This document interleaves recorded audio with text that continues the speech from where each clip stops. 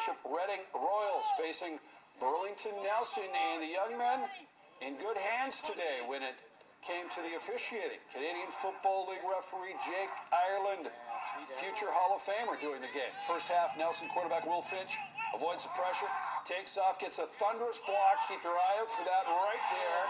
And turns his play into a touchdown. Nelson ran away to a 27 0 lead at the half, and they would go on to a 48 0 win.